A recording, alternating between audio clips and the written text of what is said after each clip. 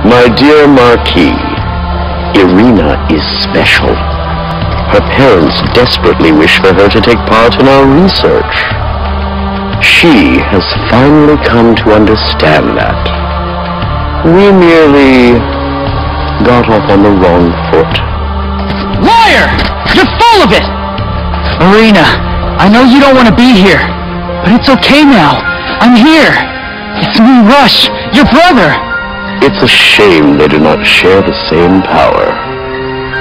Marquis, would you be so kind as to babysit your brash young friend for the time being? Consider it a helping hand in our research. Rush, stand down. No, I'm gonna go save my sister. Marquis, I believe it would be in your best interest to stop your little friend.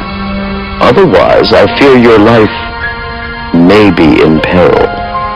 I find your story hard to swallow. You will come with us to Athlum to confirm this with the Academy. You do not take my word as fact. Very well. Perhaps I shall convince you by force.